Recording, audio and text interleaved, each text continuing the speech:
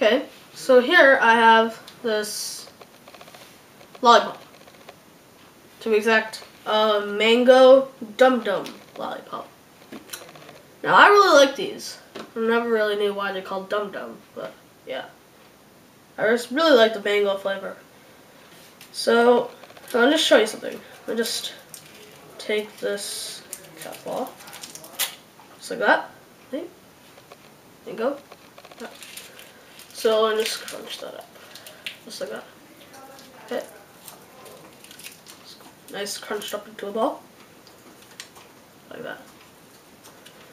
So, so I have the mango and the cap, right? Now watch. I can actually do something pretty cool with these. I just take the cap, just rub. That's all it takes. And just like that.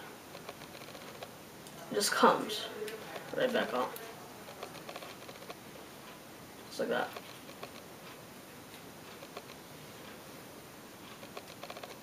But you see, now that I've done that, I can actually do something even cooler.